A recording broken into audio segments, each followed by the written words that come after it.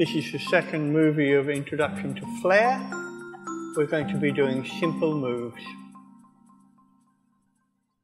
Again, we're running with a Bolt robot and it has its own requirements in this version of Flair. I'm going to engage my robot. So I now have these axes of motion powered. I'm going to engage my focus. So I now have seven axes of motion powered. I have other axes here, which at the moment are locked out. That's because I don't have a track. So I'll use my middle mouse to lock out that axis. I don't have this model mover, so I'm using my middle mouse to lock out that axis. I'm now going to move my robot to my first position.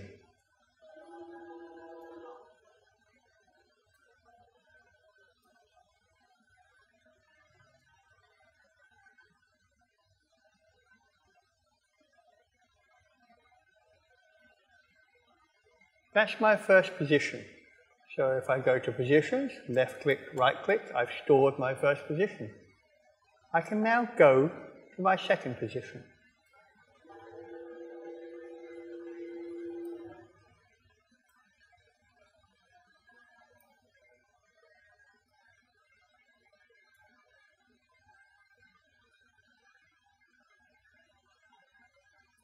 That's my second position.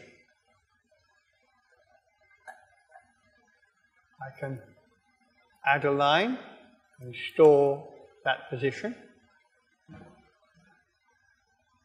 These positions will have been chosen according to what my camera is looking at. I wouldn't be just putting the robot into certain positions and not taking note of where I am looking. Each start and end or any other position in between would be carefully looking at what I want to film. We're running here at 50 frames per second, and I'm going to make this a 200 frame move, which should take four seconds. I'm now going to shoot robot fast. I can back run this move, and here I go, shooting.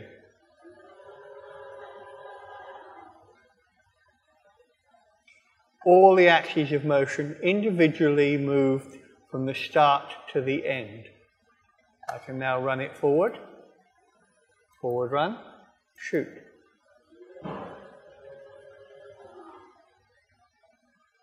That is a two position move. It is a simple move in that each of the motors was working individually. They are not, at the moment, working together to follow anything. They are still working as independent axes. I can go to view and view a graphic that will show the movement of the individual axes. This is a position graph. That's a position graph. That's the rotate. That's the lift. That's the arm. That's the tilt and that's the roll axis, moving in this move. You can see here I have an acceleration up to a speed, a constant velocity, and then a deceleration to the end. I have a button here that enables me to also look at the velocities, the positions, and the accelerations. If I left click on that, then my mouse shows position, velocity, or acceleration. Position, velocity, acceleration. If I get rid of my acceleration, you can see here I have a period of acceleration up to a constant speed, and a period of deceleration down to stationary. This particular move is using this form because I have previously told Flair to use it. Going back to my numbers, this is the same move that I had before. And if you watch the move, you can see the machine ramps up to speed, moves at a constant speed, and then slows down at the end.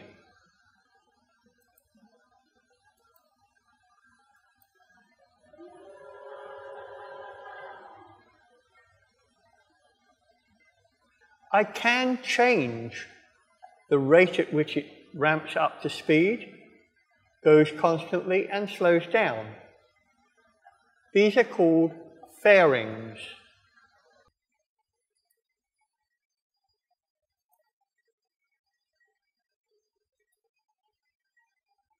If I now change this to something more extreme,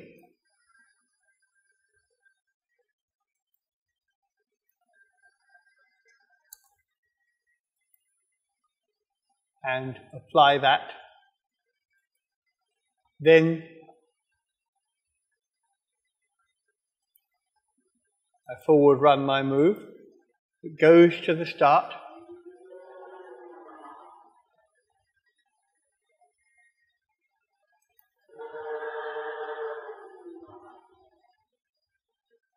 It did a 5% fairing at the beginning and a 70% fairing at the end. And graphically, it looks like this. Very steep acceleration there, very gentle deceleration there.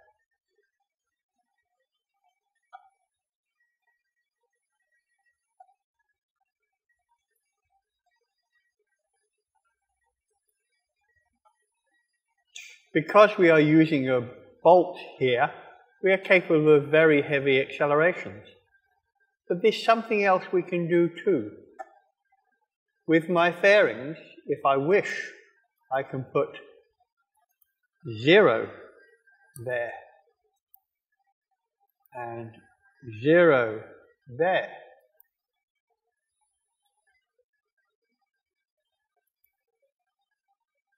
One would think that the machine would try to start immediately moving at the beginning of the move and stop immediately at the end of the move. Fortunately, it doesn't have to do that.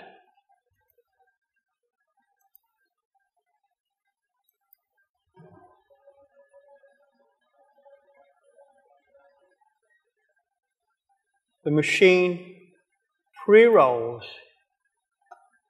ramps up to speed and then at the start of the move, it is moving at the correct speed and is in the correct position.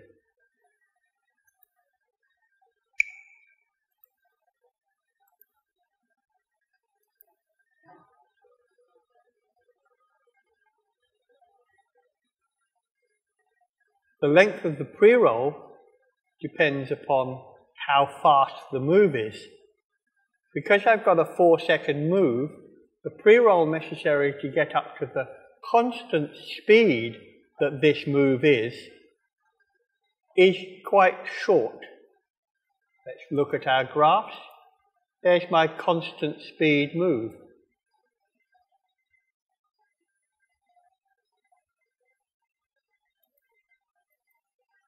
If I were to make the whole move faster, the pre-rolls would be necessarily longer in order to get up to speed before the move and slow down from speed after the move.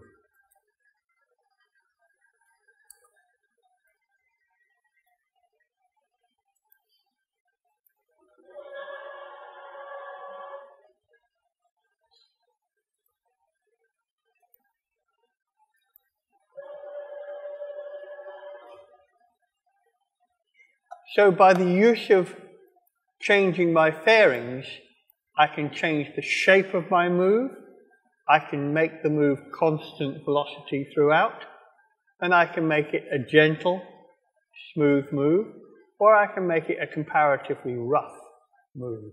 I'm going to put back some more gentle figures here.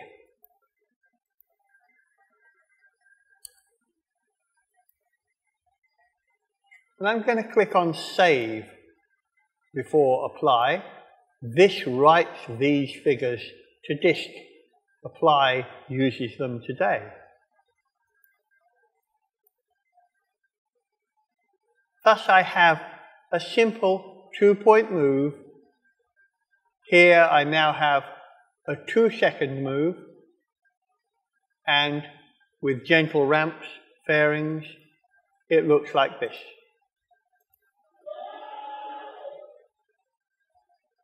And back.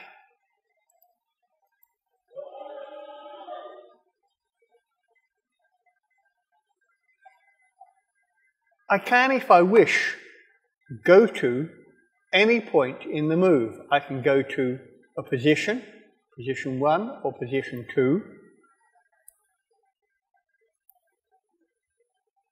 I'm already there.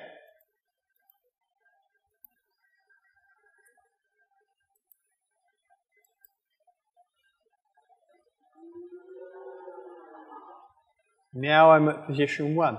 The go-to is not necessarily along the path of the move.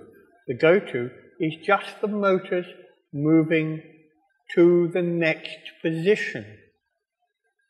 If the go-to has to go through some part of your set, the go-to will go through that part of your set if you allow it to.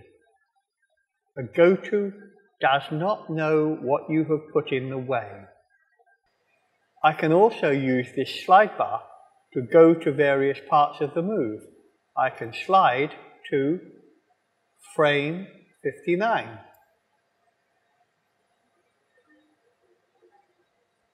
It does a go to. I can go to frame 24. It does the go to. If I wish, I can go to frame 87. Do the go to.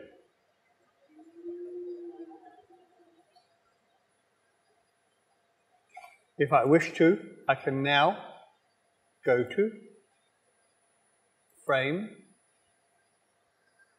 48.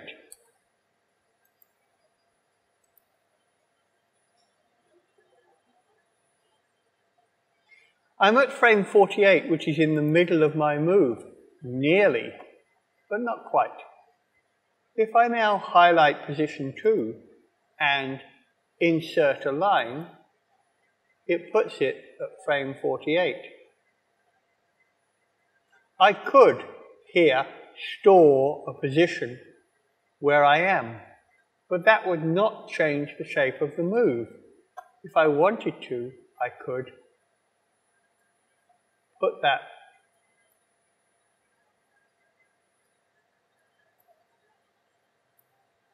in a slightly different position and store that. I now have a three-point move.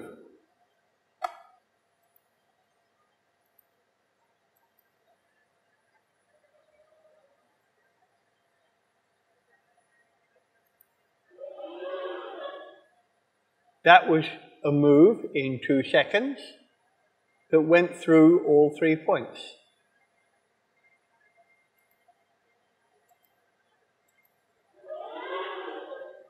That's the same move backwards. If I wish to, I can now look at the graphs involved on those moves. Let's get rid of this acceleration. Here we see we have a set of different curves. None of these are fairings. I've put three points in,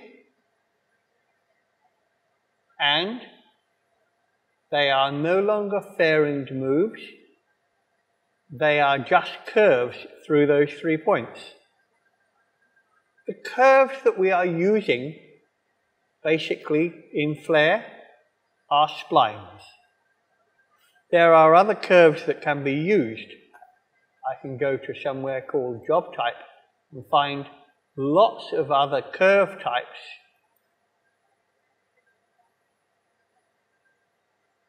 But the majority of work that is done for simple work is splines. These moves are spline curves going through those three points. They're chosen because they look good, because what we're doing here is art.